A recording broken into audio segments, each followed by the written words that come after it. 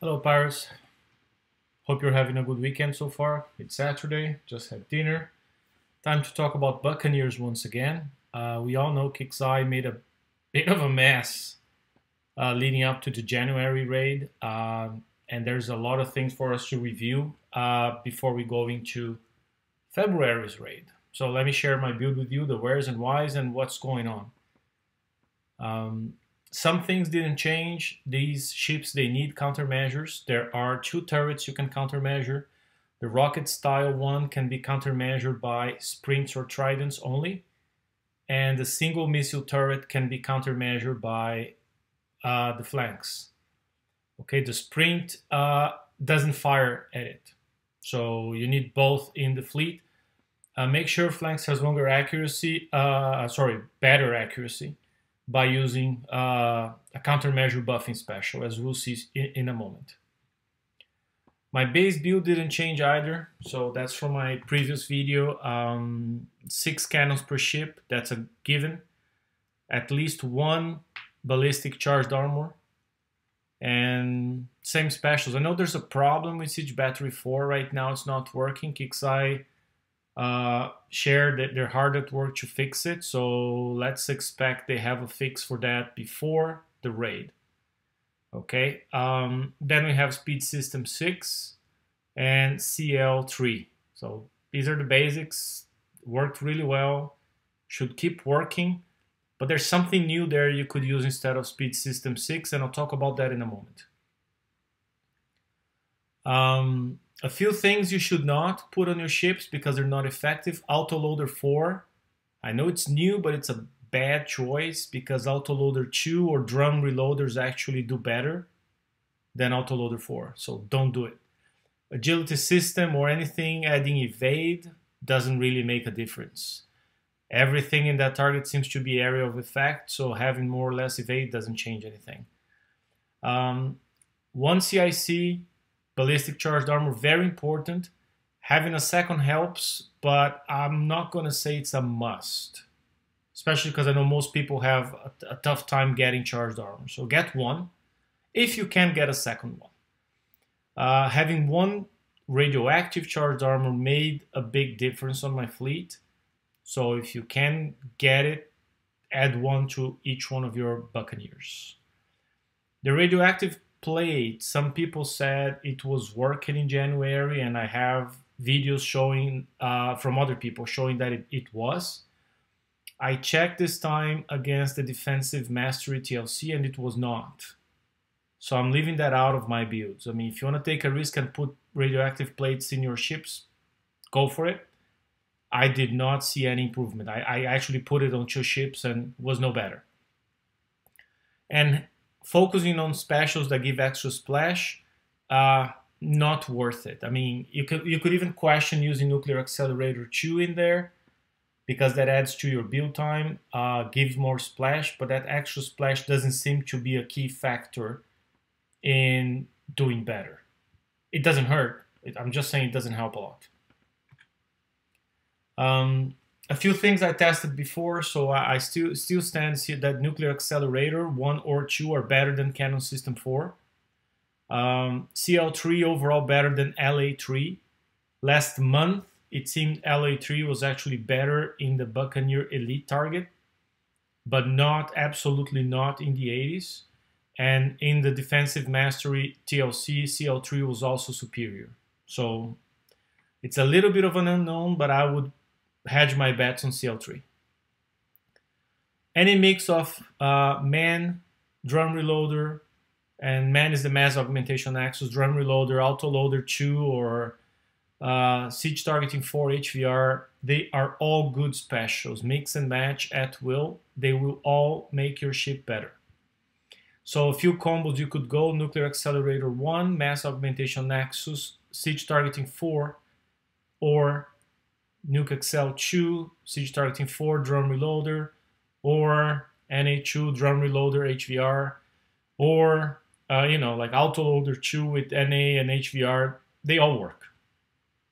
Okay, so I know Brian and George are hard on the math to see exactly what's better than what, like on the numbers, but in practice in the targets, any of these three, four combos I'm talking about are good.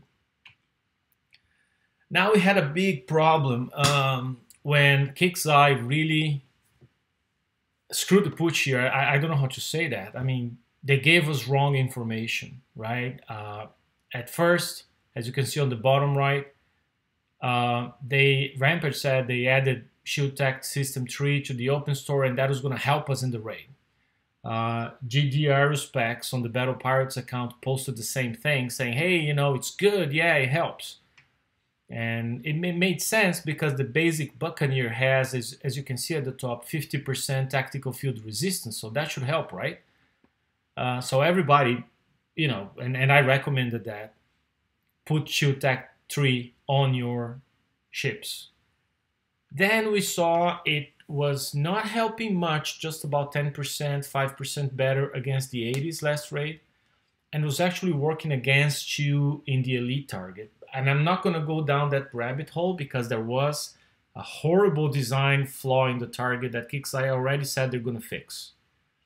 So, bottom line, uh, Major Rampage came out and pretty much said, as you can see on the left here, that tactical field resistance will not reduce damage from fields. Um, siege battery, uh, they, they're working on fixing it. And, and so anyways, as you're going to see now, I am not recommending siege targeting, siege target 3. If you want more details, uh, Rampage made two more posts um, uh, in the past couple days, or yesterday actually, um, detailing. So he said he went really deep into how these things work, spoke with developers and everything. So, in summary, it seems we've worked with wrong information since that special was released three, four years ago. Uh, and I'm not going to read everything. You can if you want, it's on forum. But what he said as an example is the fire field does damage, and tactical field resistance does not reduce the damage done by any of these fields. What, what it does is, is reduces the other effect. So if there is a resistance debuff, it reduces that. If there is a combat or turn speed slowdown, it reduces that. So you don't get as slow as you would without it. Or your resistance doesn't get dropped by as much as it would without it but it does not affect the damage done by the field, which is very different from what we, we, we've always thought it was before. So on one hand, I'm glad that this whole mess made them dig, dig into it and give us the right information. On the other hand, WTF, guys. I mean, it took that long for us to really be told how the special works. So, anyways, that's it. And so if you have STS3 or tactical insulator on your ships, it will not make them worse than they would be without it. It's just not going to help much. And so you're better off using that slot for a better, more effective special. That's the end of the story. What I think now, but I'm not going to dwell on that too long, people spend a lot of tokens and shipyard time putting siege targeting 3 on their ships or tactical insulator. And I think KIXEYE should refund players somehow for that. I'm just going to leave it at that. Moving on.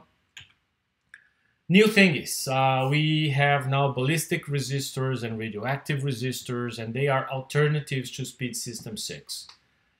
Two things, beware um, if you change that in one ship, you got to change in all five of them because the resistors are slower than speed system 6. So the trade-off is, do you want more speed or do you want more resistance? I'm going to say you want more resistance. But at the same time, if you don't think you can refit all five ships before raid, you cannot do just two or three of them because then your, your fleet will not stack. So it's an all or nothing thing with them. All right. Um, so stage one build, if, if you're still building your uh, Buckies and you don't think you can get them 100% done for the next raid, get them like this, just what you see right here. Okay, put the cannons, put sprints on three of them, just like you see on the left. Put one ballistic charged armor, um, siege battery 4, assuming KIXEYE is going to fix that. CL3, nuclear accelerator 1, and speed system 6. Okay, if you have the resistors, you could put them instead, one of them. Okay, and this way the ships already can already work. You can already do raid with ships like that. That was pretty much how I started my last raid, and they were killing 80s. Okay, and then with the tokens from the raid, I was able to add a few more things, but that works. Uh, what you see on the right is the flanks ship uh, to shoot the single missile turret. That one has the special instead of Siege Battery 4, FCLS, for buffing the accuracy and range of the flanks. The rest is the same. By using Nuclear Accelerator 1, you save a day per ship in the build. But if you want a splash and you think the extra day per ship is worth that splash, use Nuclear Accelerator 2. Entirely your choice. Okay? So that's stage one. Next step is if you can put the other two specials, and you're going to see I'm offering you three options here, and they are all good. On the left, it's what I have. I have uh, HVR for more ballistic damage, more building damage, and more projectile speed. And I have Autoloader 2, which as I said is much better than Autoloader 4, don't be fooled. So that's my ship. Uh, at the center, if you went with Nuclear Accelerator 1, you can use the Man, the special that came out with the Bucky, that's going to give you a lot of critical hits and siege targeting 4. Okay, on the right, if you don't have the special, you could use drum reloaders and siege targeting 4.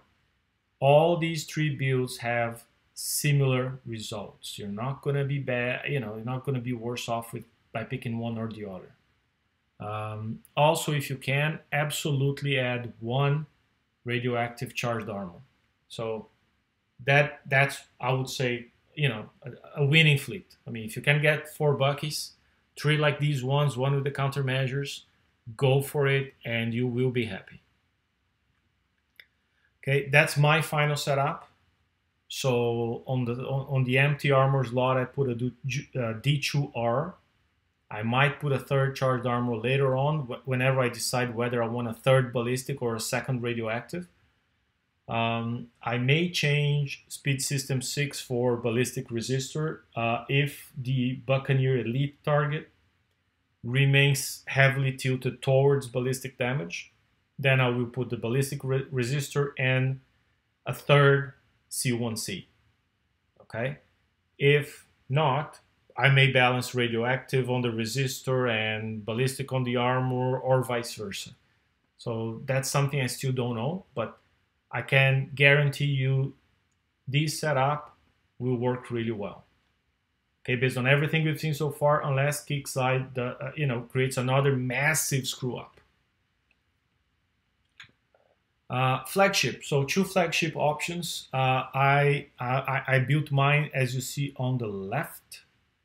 So just to be different, I didn't follow the other ones, uh, the other Buccaneers with HVR and Autoloader 2 as I could have. You see, on, you see that on the right.